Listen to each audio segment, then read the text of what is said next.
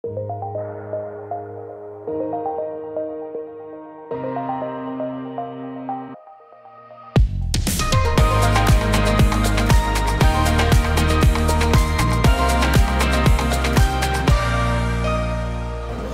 welcome to NAB 2018. My name is Claus Pfeifer. And I'm Alister Chapman.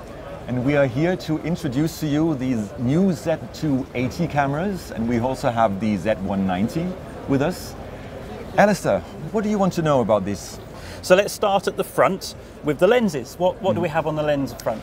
So this is the uh, full manual 17 times uh, lens that is uh, very similar to the uh, X200 lens that a lot of our customers like.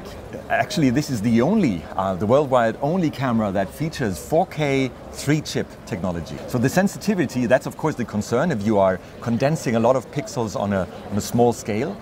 But you should not worry about this because it, it features um, F13 regardless if it's um, in 4K mode or in HD mode. I mean, I must admit, I had a quick play with it. We had the, I had the gain up to, I think it was 12 dB, and I really couldn't find any noise in the pictures. I was really Great. surprised by how. Happy to hear this. And, and, what about the Z190? That's that's slightly different. Yeah, that's also three chip sensor, but one third inch um, sensors, and that, that goes up to f12. Of course, the big thing about a small sensor it gives you a deeper depth of field, which for news, Correct. documentary stuff like yeah. that is actually a benefit. Yeah, it's much easier to shoot like that. It's a lot better, and these are aimed at um, running gun style documentary use. Right. So great sensors, great lenses. What are we recording on? So we're recording on um, S cards in the uh, Z280. Z190 is um, SD cards for a lot more flexibility.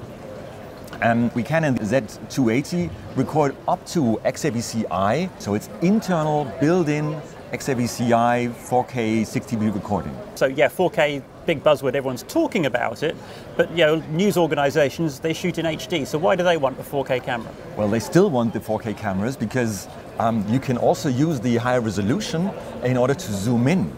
You, um, that, uh, these cameras, both cameras actually feature um, a two times extender, a two times right. digital zoom. Uh, that uses the resolution. That means out of the um, 17 times lens, it's automatically the 34 times um, uh, lens. I was trying to do the maths in my head while you were saying that, yes. Quickly.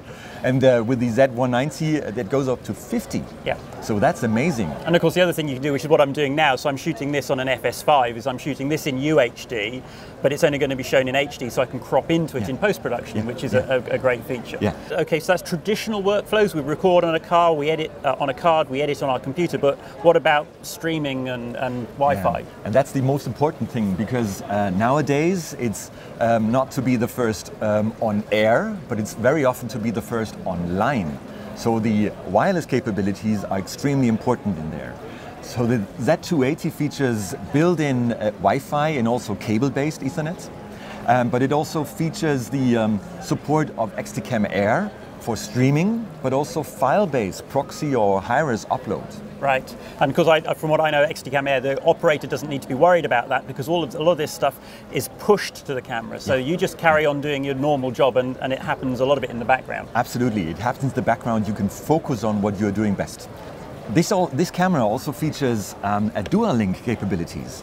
So that means um, you can plug in um, dongles, usual dongles that you get from your network provider, yep. and you can use two of them right. in order to either be more reliable in transmission mm-hmm. or even uh, get up the um, quality in streaming mode. Looking at the camera though, one thing, I, one thing I did notice on the in terms of controls, because I noticed the variable ND filter, so mm-hmm. we have that wonderful variable ND filter. Yep. But then also I noticed on this camera we have four audio controls for four audio channels. Yeah, that's another f- feedback that we receive from a lot of uh, ENG um, operators that they need, they like to uh, work in four channel mode and uh, so with this camera, we have either the possibility to record two channels with the built-in microphone. Yep. You can record two other channels by XLR. Yep. But um, the, the, third thing that you can do, oops, is um, to record um, two channels via wireless. Yes. So um, the camera, both actually both cameras have two active MI shoes. That means you can um, transmit uh, stereo um, via the UWPD mm-hmm. as an example, and at the same time use your headlights, and both of them are uh, powered by the one um, large battery that you're using. So when can I get hold of one of these then? Well, from July already. The Z280 will be available from July. while the Z190 will be available from September. And if you want to know more, you can just uh, go online on pro.sony, or of course, you can visit us at NAB. And thanks for listening. Thank you.